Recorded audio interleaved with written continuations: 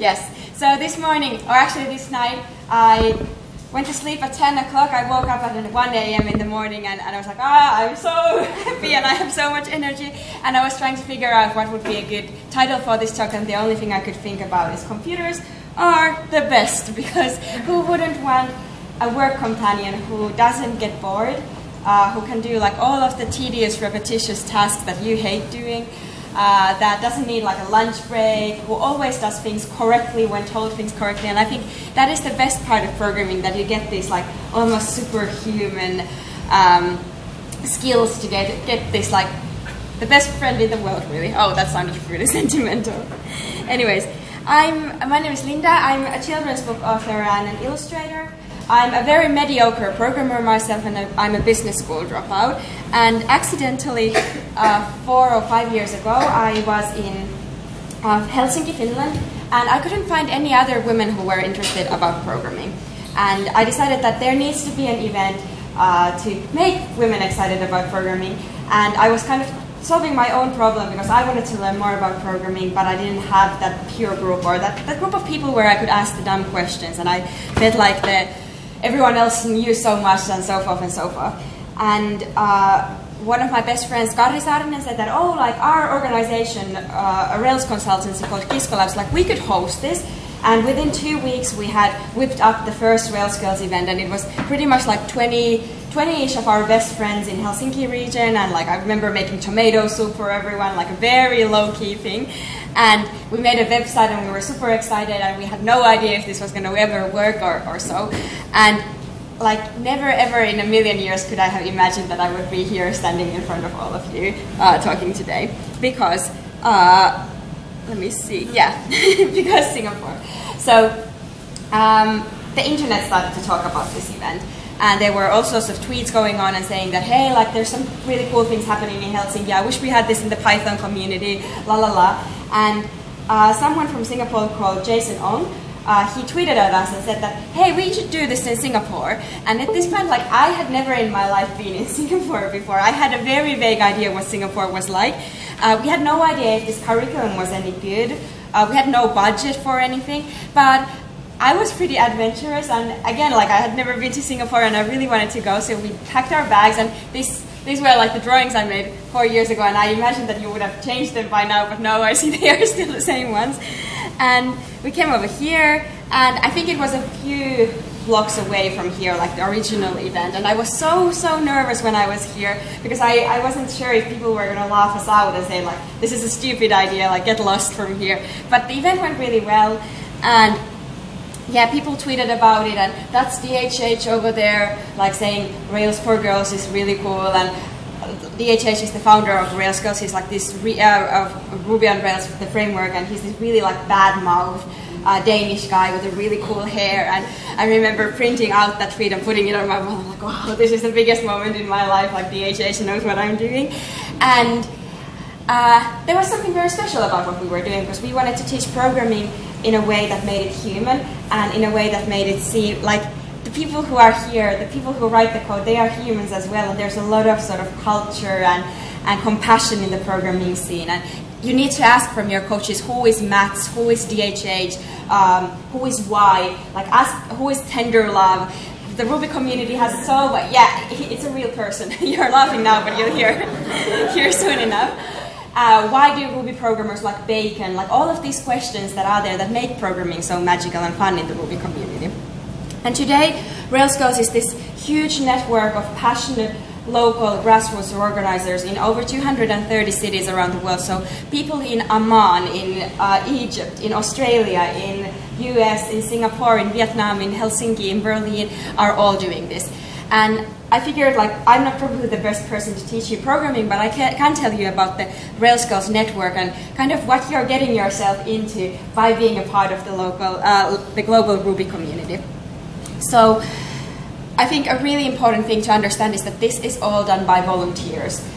every single person who's here on this Saturday morning is doing this because they want to see more diverse Ruby community and a more diverse programming community. And this isn't happening only in Singapore, it's happening everywhere in the world. And the coaches, like, I could have written the world's best or worst curriculum, but it doesn't make any difference unless, like, the local Ruby developers take this into their hearts and feel like they want to do this stuff further.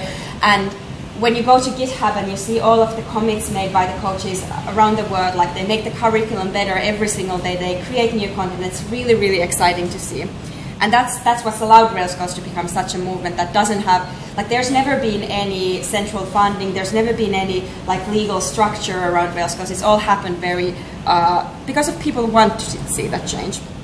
Uh, one of the really exciting things about Rails Girls is that content changes through interaction, so nothing is ever ready uh, in this world. So the curriculum we used four years ago, it has expanded, it has become better, it has become more simple, because, because of the people who change it. And I want you to remember this point because uh, all of you can be a part of this global community of changing things of like maybe you spot a typo in the in the guides and, and you can go and like fix that stuff and that's why that's what allows software to become so much better over time because we build on top of each other instead of trying to sort of, no, I own this, like, don't touch, this is my thing. Uh, we open up things and share them with everyone. That's allowed computer science to become so massive in the last years.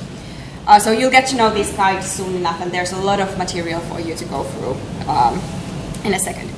Uh, this is kind of a more general point about the Rails Girls community and the Ruby community. There are so many different ways for you to participate in this community. Uh, there's people who write the code for sure, and like who are the Rails committers and the Rails core committers and Ruby core committers, but there's also people who make educational materials, who ask really good questions, who do uh, bug uh, triaging, who try to find like problems from the source code, and who organize events like this. So there's so many different ways to be a software developer nowadays and be a part of a community and learn more. Uh, one of the proudest things for me is, is the idea that Rails Girls is full of leaders, not only followers. I think it's really like weird the way our society is obsessed with like Twitter followers and Facebook followers. My number one goal has always been to allow as much sort of uh, leadership and as much um, independence for each chapter that is out there. And that means that sometimes I don't have any idea what's happening in the in the local like chapters but it also means that stuff like this happens. So Rails Girls Summer of Code some of you might next year want to um, participate in this. So this is entirely run by the Berlin team by the good folks of Travis CI uh, and the first time Annika told me that it would be really cool if we could take the Rails Girls teams or like the most like excited uh, beginners from Rails Girls group and make like a global summer program where they could get to contribute to open source software and get paid and get mentorship. And I was like, are you mad? Like, there's no way that's gonna happen. and in my mind, there was no way that that was gonna happen. But in Annika's mind, it was totally clear that this was gonna happen. And she was such a boss and just made this happen. And now it's the third time that it's running. It's a global, um, so for those of you who are not familiar with the Summer of Code concept, it's, the idea is that you get beginners uh, to work on open source projects, you get mentorship, you get funding, and you get to see if you really want to become a software developer. And Singapore totally should apply to this uh, as well. There's been teams in India, in US, in uh, Europe, in South America, everywhere in the world. So this is something. And oh yeah, you can also participate as a volunteer team. So if you don't get selected as one of the team, you can still benefit for again the community. Oops. okay, I'm not gonna take any more time. I just wanted to give you like three small things to uh, take because many of you are gonna be so overwhelmed and exhausted after this day and be like, I hate programming, this is not going to be my thing. And it's completely, totally normal. Rails Girls is a packed day. We want you to feel overwhelmed. And the idea is, many people ask, like, why start with Rails? It's, an, like, it's a really hard language to understand and master. The idea is that you build something visible today, and then you have the rest of your life to understand what actually happened during those building sessions. So don't feel overwhelmed if you're like, what is this scaffolding, like how does this work? The idea is that you build something really rapidly that you can be proud of, you can show to your colleagues next week, and then you come back to these Rails Girls events, and, and then you actually learn what's happening. And uh, I work with a lot with kids, and one of the, the saddest things with little girls, for instance, is that they forget one semicolon from their code or one like paraphrase or something like that, and they are like, "I'm really bad at programming." No, you're not really bad at programming. Making mistakes is such an important part of coding. Even the best coders in the world, they make mistakes every single day. And I've yet to hear about a profession where they pay you so much for making mistakes every single day. So if you feel like like I'm there's a typo here, I'm stupid. No, you're not stupid. Like every single programmer goes through that. That's part of the profession to sort of endure that process. Second tip, uh, asking questions is an important part of coding. If you feel like I didn't get that or I don't know stuff in advance, like that's okay. All the programmers I know, they Google stuff every single day. Like the ability to find and solve problems is like one of the paramount uh, characteristics of, of, a good programmer because programming changes all the time. Rails as a framework is like 10 years old, roughly, seven, something like that.